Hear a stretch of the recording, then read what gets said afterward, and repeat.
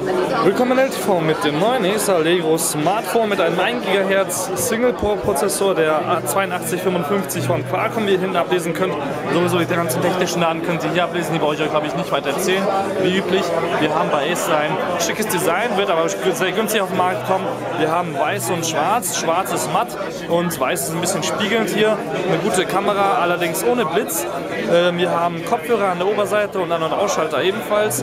dann Lautstärkeregler, wie bei Windows üblich, muss man einen Kammerknopf noch dazu haben. Micro-USB zum Anschließen, zum Aufladen.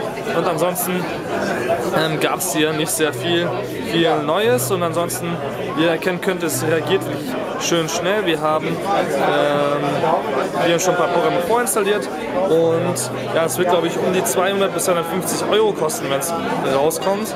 Ähm, wir finden, es ist schön leicht, wertig eigentlich und sollte ähm, gut genug sein für Einsteiger, die das Gerät verwenden wollen. Ja, vielen Dank fürs Zuschauen bei Level TV.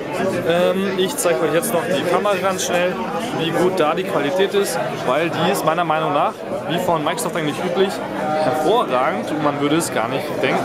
Bis zum nächsten Mal. Mein Name ist Balaschka mit dem Acer Allegro Smartphone hier von dem Acer Event in München.